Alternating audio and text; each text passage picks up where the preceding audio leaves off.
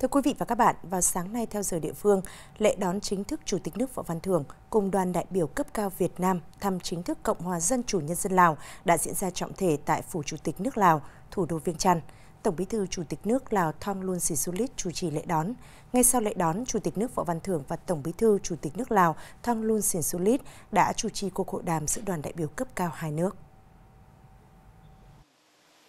Tổng Bí thư Chủ tịch nước Lào Thông Luân Sisulit nhiệt liệt chào mừng và đánh giá cao ý nghĩa quan trọng của chuyến thăm, nhấn mạnh việc Chủ tịch nước Võ Văn Thưởng chọn Lào là nước đầu tiên đi thăm trên cương vị mới, thể hiện sự coi trọng mà Đảng, Nhà nước Việt Nam và cá nhân đồng chí Võ Văn Thưởng đối với mối quan hệ hữu nghị vĩ đại, đoàn kết đặc biệt và hợp tác toàn diện Việt Nam Lào. Cảm ơn Chủ tịch nước Võ Văn Thưởng đã mang đến Lào tình cảm hữu nghị thắm thiết, tình đoàn kết gắn bó của Đảng, Nhà nước và nhân dân Việt Nam anh em, đúng vào dịp nhân dân cả nước Lào đang hân hoan chuẩn bị đón năm mới Phật lịch 2566.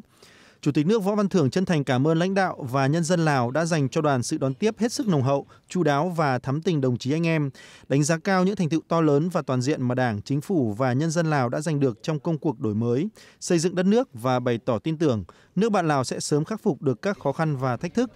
tiến tới thực hiện thắng lợi các mục tiêu mà Đại hội lần thứ 11 của Đảng Nhân dân Cách mạng Lào đã đề ra.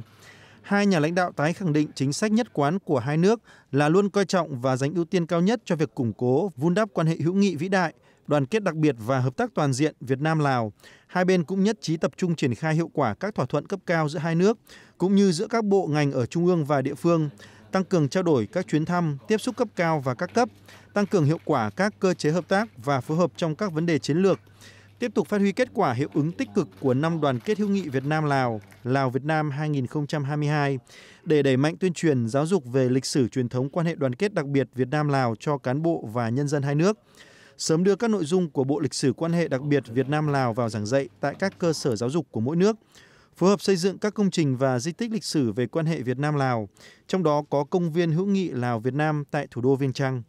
Hai bên nhất trí nỗ lực nâng tầm hợp tác kinh tế, hỗ trợ nhau phục hồi sau đại dịch, tiếp tục xây dựng nền kinh tế độc lập tự chủ, hội nhập quốc tế sâu rộng và hiệu quả, tăng cường trao đổi kinh nghiệm quản lý kinh tế vĩ mô, phòng chống tham nhũng, nâng cấp các cửa khẩu quốc tế và đường giao thông kết nối hai nước, không ngừng nâng cao hiệu quả hợp tác trong các lĩnh vực giáo dục đào tạo, du lịch, năng lượng, nông nghiệp sạch, khoa học, công nghệ, y tế, văn hóa, giao lưu nhân dân và giữa các địa phương. Trong khuôn khổ chuyến thăm chính thức nước Cộng hòa Dân chủ Nhân dân Lào, chiều nay Chủ tịch nước Võ Văn Thưởng đã hội kiến với Thủ tướng Chính phủ Lào Sòn Say Sivandon và Chủ tịch Quốc hội Lào Say Sổng Phon Phong Vi Hẳn. Tại cuộc hội kiến với Thủ tướng Lào Sòn Say Sifandon, Chủ tịch nước Võ Văn Thường bày tỏ vui mừng sang thăm Lào đúng vào dịp Tết của truyền Bun Pi May và trân trọng truyền lời thăm hỏi thân tình và lời chúc năm mới của lãnh đạo cấp cao Việt Nam tới đồng chí Thủ tướng Sòn Say Sifandon. Chủ tịch nước cũng chúc mừng những thành tiệu to lớn và có ý nghĩa quan trọng mà Đảng, Nhà nước và nhân dân Lào đã giành được trong công cuộc xây dựng và phát triển đất nước. Tin tưởng Lào sẽ vượt qua giai đoạn khó khăn hiện nay, thực hiện thắng lợi nghị quyết Đại hội Đảng lần thứ 11 và kế hoạch phát triển kinh tế xã hội lần thứ 9, giai đoạn 2021-2025. Thủ tướng Lào Sòn Sai Sì Phan Đon bày tỏ vui mừng đón tiếp Chủ tịch nước Võ Văn Thường, đánh giá cao việc Chủ tịch nước chọn thăm Lào đầu tiên trên cương vị mới, thể hiện sự coi trọng của Đảng, Nhà nước Việt Nam và cá nhân Chủ tịch nước Võ Văn Thường đối với mối quan hệ hữu nghị vĩ đại, tình đoàn kết đặc biệt và hợp tác toàn diện Việt Nam-Lào. Hai bên đánh giá cao những thành quả nổi bật quan trọng trong quan hệ hợp tác giữa hai nước trên tất cả lĩnh vực sau hơn 60 năm hai nước thiết lập quan hệ ngoại giao và 45 năm ký kết hiệp ước hợp tác và hữu nghị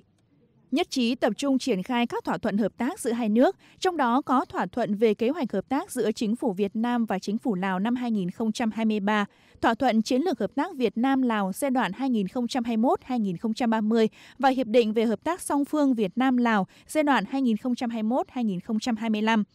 hai nhà lãnh đạo nhất trí tăng cường trao đổi tin cậy, ủng hộ lẫn nhau trên diễn đàn đa phương, nhất là tại Liên Hợp Quốc, ASEAN và các cơ chế hợp tác tiểu vùng Mekong, trong đó có khu vực tam giác phát triển Campuchia, Lào, Việt Nam.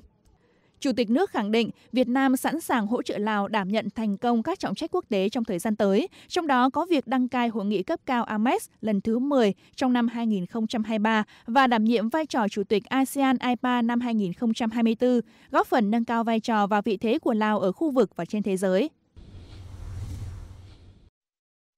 Tại cuộc hội kiến của Chủ tịch nước Võ Văn Thường với Chủ tịch Quốc hội Lào Say Sỏm Phon Phong Vi Hẳn, Chủ tịch Quốc hội nhiệt liệt chào mừng đồng chí Võ Văn Thưởng sang thăm chính thức Lào, mang đến những tình cảm hiếu nghị gắn bó trên tinh thần đồng chí anh em. Nhấn mạnh việc Chủ tịch nước Võ Văn Thưởng thăm Lào đầu tiên trên cương vị mới thể hiện sự coi trọng của Việt Nam đối với quan hệ đặc biệt Việt-Lào. Ông cũng chúc mừng đồng chí Võ Văn Thưởng được Quốc hội Việt Nam tiến nhiệm bầu làm Chủ tịch nước, đánh giá cao những thành tiệu quan trọng toàn diện và có ý nghĩa lịch sử mà nhân dân Việt Nam đã giành được trong công cuộc xây dựng và phát triển đất nước theo nghị quyết đại hội 13 của Đảng Cộng sản Việt Nam. Chủ tịch Quốc hội Lào cho rằng sự phát triển nhanh chóng và ổn định của Việt Nam đã trở thành động lực cho Lào trong công cuộc xây dựng đất nước giai đoạn hội nhập. Ông cũng trân trọng truyền lời thăm hỏi tới Tổng Bí thư Nguyễn Phú Trọng, Thủ tướng Chính phủ Phạm Minh Chính, Chủ tịch Quốc hội Vương Đình Huệ và các đồng chí lãnh đạo cấp cao Việt Nam. Chân thành cảm ơn Đảng, Nhà nước và nhân dân Việt Nam đã xây tặng tòa nhà Quốc hội mới của Lào, một biểu tượng nổi bật của mối quan hệ đặc biệt Lào-Việt Nam. Chủ tịch nước Võ Văn Thưởng bày tỏ vui mừng được sang thăm đất nước Lào anh em và gặp lại đồng chí Say Sỏm Phon Phong Vi Hẳn tại trụ sở mới của Quốc hội Lào, công trình biểu tượng cho tình hữu nghị vĩ đại giữa hai nước, chuyển lời thăm hỏi thân tình và lời chúc mừng Tết của truyền Lào Bun Pi May của Tổng Bí thư Nguyễn Phú Trọng, Thủ tướng Chính phủ Phạm Minh Chính và Chủ tịch Quốc hội Vương Đình Huệ tới đồng chí Say sòm Phon Phong Vi Hàn. Chủ tịch nước chúc mừng những thành tiệu to lớn và có ý nghĩa quan trọng mà Đảng, Nhà nước và nhân dân Lào đã giành được trong công cuộc xây dựng và phát triển đất nước. Tin tưởng Lào sẽ vượt qua khó khăn hiện nay, thực hiện thắng lợi nghị quyết đại hội Đảng lần thứ 11 và kế hoạch phát triển kinh tế xã hội 5 năm lần thứ 9. Chủ tịch nước Võ Văn Thưởng cũng đánh giá cao quan hệ hợp tác gắn bó chặt chẽ giữa quốc hội hai nước, khẳng định Việt Nam sẵn sàng hỗ trợ Lào đảm nhận thành công các hoạt động đối ngoại quan trọng trong thời gian tới, trong đó có hội nghị cấp cao Quốc hội ba nước lần đầu tiên giữa Campuchia, Lào, Việt Nam, dự kiến năm 2023 và đảm nhiệm thành công vai trò Chủ tịch Hội đồng Liên nghị viện ASEAN IPA năm 2024. Hai nhà lãnh đạo hoan nghênh Quốc hội hai nước tiếp tục tăng cường trao đổi, chia sẻ kinh nghiệm chuyên môn, tổ chức các hội nghị, hội thảo và tọa đàm trao đổi kinh nghiệm, tiếp tục phối hợp chặt chẽ ủng hộ lẫn nhau tại các diễn đàn nghị viện khu vực và quốc tế. Hai nhà lãnh đạo tái khẳng định luôn coi trọng và dành ưu tiên cao nhất cho việc củng cố và tăng cường quan hệ hữu nghị vĩ đại, đoàn kết đặc biệt và hợp tác toàn diện Việt Nam Lào, coi đây là tài sản vô giá, yếu tố sống còn với sự nghiệp cách mạng của mỗi nước. Tiếp tục chương trình thăm chính thức Cộng hòa Dân chủ Nhân dân Lào, chiều nay tại thủ đô Viêng Chăn, Chủ tịch nước Võ Văn Thưởng đã tiếp Chủ tịch Trung ương Mặt trận Lào xây dựng đất nước Xin Lao Gong, Phút Phai Thun và tiếp Hội hữu nghị Lào Việt. Chủ tịch Trung ương Mặt trận Lào xây dựng đất nước bày tỏ vui mừng khi Chủ tịch nước Võ Văn Thưởng chọn Lào là quốc gia đầu tiên đến thăm chính thức kể từ khi đảm nhiệm cương vị mới và vinh dự được Chủ tịch nước Võ Văn Thưởng dành thời gian tiếp, khẳng định Trung ương Mặt trận Lào xây dựng đất nước sẽ tiếp tục phối hợp chặt chẽ với Trung ương Mặt trận Tổ quốc Việt Nam, phát huy thành công của năm đoàn kết hữu nghị 2022, tuyên truyền cho nhân dân Lào, đặc biệt là thế hệ trẻ, nhận thức rõ hơn về mối quan hệ đặc biệt Lào-Việt Nam. Đồng thời, phối hợp với cơ quan chức năng của Lào tiếp tục quan tâm giúp đỡ và tạo điều kiện thuận lợi hơn nữa đối với người Việt Nam làm ăn sinh sống ở Lào. Chủ tịch nước Võ Văn Thưởng đánh giá cao kết quả hợp tác giữa Trung ương Mặt trận Lào xây dựng đất nước với Ủy ban Trung ương Mặt trận Tổ quốc Việt Nam và các đối tác khác của Việt Nam trong thời gian vừa qua. Đồng thời đề nghị hai bên tiếp tục phối hợp chặt chẽ, thực hiện hiệu quả các thỏa thuận hợp tác trên các lĩnh vực mặt trận, dân vận, tôn giáo, dân tộc. Tiếp Chủ tịch Hội hữu nghị Lào Việt Nam cùng Ban chấp hành Hội hữu nghị Lào Việt Nam, Chủ tịch nước Võ Văn Thưởng bày tỏ vui mừng khi mối quan hệ hữu nghị vĩ đại, đoàn kết đặc biệt và hợp tác toàn diện giữa Việt Nam, Lào ngày càng được củng cố và phát triển sâu rộng trên tất cả các lĩnh vực, đặc biệt là văn hóa, xã hội và giao lưu nhân dân, vì lợi ích của nhân dân hai nước. Thành tựu đó có sự đóng góp quan trọng của Hội hữu nghị hai nước. Chủ tịch nước khẳng định Hội hữu nghị là một trong những nhịp cầu nối hết sức quan trọng để kết nối nhân dân hai nước, tăng cường giao lưu gắn bó trên tinh thần tương thân tương ái. Chủ tịch nước đề nghị hai hội hữu nghị tiếp tục phối hợp chặt chẽ, thường xuyên, có các hình thức phù hợp, thiết thực, tổ chức tốt các chương trình hoạt động giao lưu nhân dân, qua đó tạo sức lan tỏa, gắn bó rộng rãi giữa các tầng lớp nhân dân, đặc biệt là thế hệ trẻ hai nước. Thưa quý vị, phiên họp chính phủ chuyên đề xây dựng pháp luật tháng 4 hôm nay đã thảo luận lấy ý kiến nhân dân về hoàn thiện dự án luật đất đai sửa đổi, trình Quốc hội tiếp thu giải trình ý kiến của Ủy ban Thường vụ Quốc hội đối với dự án luật nhà ở sửa đổi. Thủ tướng Phạm Minh Chính nhấn mạnh cần nghiên cứu tiếp thu tối đa các ý kiến nhân dân về dự án luật đất đai sửa đổi, bảo đảm phù hợp với chủ trương của Đảng và Hiến pháp, phù hợp tình hình thực tiễn, không cầu toàn, không nóng vội, tôn trọng thực tiễn khách quan để nghiên cứu luật hóa các vấn đề đã được thực tiễn chứng minh là hiệu quả, giải phóng tối đa các nguồn lực phát triển.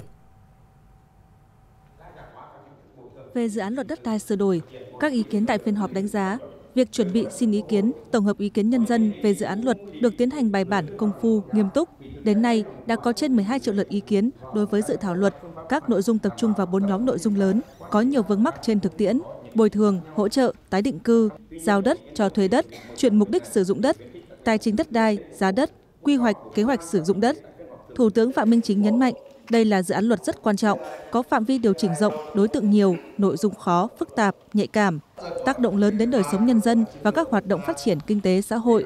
Dự án luật được Quốc hội quyết định xem xét thông qua trong ba kỳ họp và kỳ họp thứ năm là lần thứ hai Quốc hội xem xét cho ý kiến đối với dự án luật này. Với các nội dung còn ý kiến khác nhau, cần phân tích rõ ưu nhược điểm của từng phương án trình cấp có thẩm quyền, thể hiện rõ quan điểm với phương án. Thủ tướng nhắc lại, đất nước ta đang phát triển, nền kinh tế đang chuyển đổi, nên các chính sách phải có bước đi lộ trình phù hợp, tránh giật cục, chuyển trạng thái đột ngột. Về dự án luật nhà ở sửa đổi, các đại biểu tập trung thảo luận về việc tiếp thu, giải trình ý kiến của Ủy ban Thường vụ Quốc hội đối với dự án luật và về một số nội dung cụ thể như sở hữu nhà trung cư có thời hạn, quyền sử dụng đất gắn với nhà ở do cá nhân người nước ngoài sở hữu tại Việt Nam, hình thức sử dụng đất để phát triển nhà ở thương mại, chính sách phát triển nhà ở xã hội, nhà lưu trú công nhân, nhà ở cho lực lượng vũ trang. Hôm nay, ngày làm việc đầu tiên của phiên họp 22 của Ủy ban Thường vụ Quốc hội, buổi sáng các đại biểu đã cho ý kiến về dự kiến chương trình xây dựng luật pháp lệnh năm 2024, điều chỉnh chương trình xây dựng luật pháp lệnh năm 2023, cho ý kiến về việc chuẩn bị kỳ họp thứ 5 và tổng kết kỳ họp bất thường lần thứ tư Quốc hội khóa 15. Sau khi thảo luận, Ủy ban Thường vụ Thống nhất tại kỳ họp thứ 5 sẽ trình Quốc hội xem xét thông qua 7 dự án luật, 2 dự thảo nghị quyết, cho ý kiến 9 dự án luật, Tại kỳ họp thứ 6 sẽ trình Quốc hội thông qua 9 dự án luật và cho ý kiến 6 dự án luật. Phiên chủ bị và khai mạc kỳ họp thứ 5 vào ngày 22 tháng 5, bế mạc vào ngày 20 tháng 6 năm 2023. Nhiều ý kiến trong Ủy ban Thường vụ Quốc hội đề nghị tổ chức kỳ họp thành hai đợt đảm bảo chất lượng tiếp thu, chỉnh lý các dự án luật nghị quyết. Buổi chiều, 100% thành viên Ủy ban Thường vụ Quốc hội có mặt đã biểu quyết đồng ý cho phép chính phủ quy định cụ thể về việc sử dụng phương tiện thiết bị kỹ thuật nghiệp vụ để phát hiện vi phạm hành chính trong các hoạt động khai thác, bảo vệ nguồn lợi thủy sản và nuôi trồng thủy sản khi ban hành nghị định xử phạt vi phạm hành chính trong lĩnh vực thủy sản sửa đổi. Tiếp đó, Ủy ban Thường vụ Thống nhất giao Hội đồng Dân tộc là cơ quan xây dựng, đề xuất và chủ trì soạn thảo, giao Ủy ban Pháp luật của Quốc hội là cơ quan thẩm tra của dự án luật sửa đổi, bổ sung một số điều của luật hoạt động giám sát của Quốc hội và Hội đồng Nhân dân. Cuối giờ chiều, Ủy ban Thường vụ cho ý kiến về báo cáo công tác dân nguyện tháng 3 năm 2023. Phương châm của chúng ta là không để người có công nào không được hưởng chính sách của Đảng, Nhà nước, nên phải cố gắng ở mức cao nhất để giải quyết những trường hợp còn tồn động. Chủ tịch Quốc hội Vương Đình Huệ đã nhấn mạnh như vậy tại cuộc gặp mặt đoàn đại biểu Ban liên lạc cựu tù chính trị và tù binh thành phố Hồ Chí Minh vào chiều tối nay tại nhà Quốc hội, nhân dịp đoàn về thăm thủ đô Hà Nội theo hành trình về nguồn theo dấu chân Bác. Chủ tịch Quốc hội Vương Đình Huệ bày tỏ xúc động gặp mặt các cựu tù chính trị và tù binh thành phố Hồ Chí Minh tại nhà Quốc hội, đồng thời đánh giá cao chủ trương của Thành ủy thành phố Hồ Chí Minh về việc thành lập ban liên lạc, không chỉ là tổ chức cần thiết cho các thành viên, hội viên mà còn là cánh tay nối dài của Đảng và nhà nước, là một hình thức tập hợp giáo dục truyền thống cách mạng hết sức ý nghĩa thiết thực. Chủ tịch Quốc hội khẳng định Đảng, Nhà nước và nhân dân ta đã thường xuyên quan tâm thực hiện công tác đền ơn đáp nghĩa, không chỉ trong những ngày lễ, kỷ niệm Ngày Thương binh Liệt sĩ, mà ở đâu có điều kiện, bất cứ làm được gì cho người có công với cách mạng thì các cấp ủy chính quyền địa phương, các nhà hảo tâm, các doanh nghiệp và đồng bào ta đều quan tâm. Các nguồn lực của nhà nước cũng tập trung đầu tư cho công tác này. Đến nay, đã có 9,2 triệu người có công với cách mạng được hưởng các chế độ, chính sách ưu đãi, hơn 4 triệu người có công được tặng huân chương, huy chương và các phần thưởng, danh hiệu cao quý khác. Với phương châm không để người có công nào không được hưởng chính sách của Đảng, Nhà nước, Chủ tịch Quốc hội nêu rõ phải cố gắng ở mức cao nhất để giải quyết những trường hợp còn tồn động. Đây là việc rất cấp bách vì nhiều bác tuổi đã cao. Chúng ta phải cố gắng nhiều hơn nữa, làm nhiều hơn nữa trong công tác chăm sóc người có công với cách mạng. Với 69 đại biểu trong đoàn, Chủ tịch Quốc hội cho rằng mỗi đồng chí là một pho lịch sử sống gắn với cuộc kháng chiến cứu nước của cả dân tộc. Mong các đồng chí, sức còn tới đâu thì đóng góp tới đó để góp phần công hiến cho xã hội, cho đất nước. Chủ tịch Quốc hội nhất trí rằng cần tiếp tục kêu gọi cộng đồng quốc tế góp phần khắc phục hậu quả chất độc da cam dioxin. Các cơ quan chức năng tiếp tục nghiên cứu cách điều trị, chế độ chính sách nhằm tạo điều kiện hơn nữa cho những nạn nhân chất độc da cam dioxin. Chủ tịch Quốc hội cho biết, Ủy ban Thường vụ Quốc hội trước mắt sẽ giả soát để sửa đổi pháp lệnh ưu đãi người có công với cách mạng để tôn vinh nhiều trường hợp xứng đáng được công nhận là mẹ Việt Nam anh hùng, tôn vinh những trường hợp là Việt kiều tự nguyện về nước tham gia cách mạng, tiếp tục giải quyết hồ sơ tồn động. Nhấn mạnh không ai tôn vinh bằng chính nhân dân tôn vinh, Chủ tịch Quốc hội gợi mở với những trường hợp chưa được Đảng nhà nước chứng nhận thì có thể bàn với cấp ủy, chính quyền địa phương vẫn tôn vinh với hình thức nhà nước và xã hội cùng thực hiện để bảo đảm chế độ như những trường hợp đã được nhà nước xác nhận.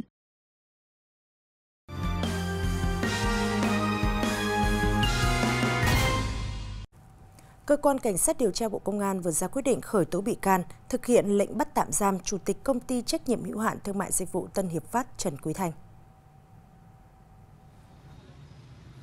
Bộ Công an giao cơ quan cảnh sát điều tra Bộ Công an C01 tiến hành điều tra xác minh, giải quyết nội dung đơn của một số công dân trên địa bàn thành phố Hồ Chí Minh và tỉnh Đồng Nai, tố cáo ông Trần Quý Thanh cùng các con gái Trần Uyên Phương, Trần Ngọc Bích và một số cá nhân khác đã thực hiện hành vi lừa đảo chiếm đoạt tài sản, lạm dụng tín nhiệm chiếm đoạt tài sản, trốn thuế, cưỡng đoạt tài sản là các dự án bất động sản có giá trị đặc biệt lớn tại tỉnh Đồng Nai và thành phố Hồ Chí Minh từ tháng 11 năm 2020. Quá trình điều tra đến nay có đủ căn cứ xác định Hành vi của Trần Quý Thanh cùng các con gái Trần Uyên Phương, Trần Ngọc Bích đủ yếu tố cấu thành tội lạm dụng tín nhiệm chiếm đoạt tài sản, quy định tại khoản 4 điều 175 Bộ luật hình sự. Ngày 8 tháng 4 năm 2023, Cơ quan Cảnh sát điều tra Bộ Công an đã ra các quyết định khởi tố bị can đối với Trần Quý Thanh, Trần Uyên Phương, Trần Ngọc Bích. Ngày 10 tháng 4 năm 2023, Cơ quan Cảnh sát điều tra Bộ Công an thi hành lệnh bắt tạm giam đối với Trần Quý Thanh, Trần Uyên Phương và tổ chức khám xét chỗ ở, nơi làm việc tại 9 địa điểm đối với 3 bị can. Các quyết định, lệnh của cơ quan cảnh sát điều tra Bộ Công an đã được Viện Kiểm sát Nhân dân tối cao phê chuẩn theo quy định pháp luật. Một số hình thức lừa đảo qua mạng xã hội và điện thoại. Giả danh cơ quan pháp luật yêu cầu nạn nhân chuyển khoản tiền vào số tài khoản do đối tượng cung cấp để điều tra phục vụ. Giả danh nhân viên ngân hàng hướng dẫn cung cấp phần mềm rồi lấy thông tin và chiếm đoạt tiền trong tài khoản của nạn nhân. Lừa nâng cấp SIM 4G, nạn nhân làm theo hướng dẫn sẽ mất số điện thoại và tài khoản ngân hàng đăng ký theo số điện thoại đó. Lừa đảo trúng thưởng, gọi điện thoại thông báo trúng thưởng, yêu cầu đóng phí để nhận thưởng rồi chiếm đoạt tiền. Giả là người nước ngoài gửi tiền về, sau đó giả là nhân viên hải quan yêu cầu đóng phí mới nhận quà. Người dân cần cảnh giác, không chuyển tiền cho bất cứ ai khi chưa biết rõ họ. Cơ quan nhà nước không làm việc qua điện thoại. Tuyệt đối không cung cấp mã OTP cho bất kỳ ai. Gọi điện thoại xác nhận khi có người nhắn tin mượn tiền. Các cách kiếm tiền việc nhẹ lương cao trên mạng đều là lừa đảo.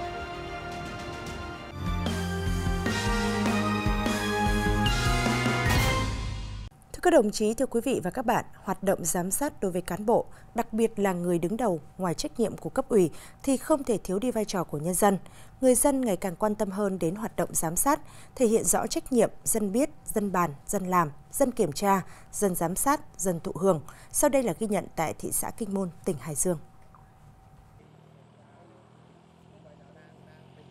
Người dân ở các xã đã tích cực tham gia giám sát quá trình xây dựng nông thôn mới, nâng cao chất lượng các tiêu chí. Cùng với đó là giám sát việc thực hiện nhiệm vụ của cán bộ, xem xét cách làm có phù hợp hay không. Từ đây, đóng góp cho cấp ủy, chính quyền nhiều ý kiến thiết thực để hoạt động chỉ đạo cũng như chủ trương ban hành được sát với tình hình thực tế của địa phương và nguyện vọng chính đáng của người dân. Một cái công trình này thì nó cần này tiền, thu được của dân này cần này tiền và xây dựng nó như thế thì ai cũng tính được cái khối lượng vật liệu Đấy, làm đường hay làm xây dựng nghĩa trang thế thì người ta nắm được cái là như vậy là dân rất là tin chỉ chính quyền và thông qua đó thì nhân dân người ta ủng hộ cái việc làm đó và người ta có trách nhiệm rất cao. Chúng tôi lại đặt vấn đề trở lại với các ông chí và các ông chí trân trọng tiếp thu những ý kiến của cán bộ đảng viên và nhân dân. Thế, thông qua đó thì tôi thấy rằng là cái tính hiệu quả,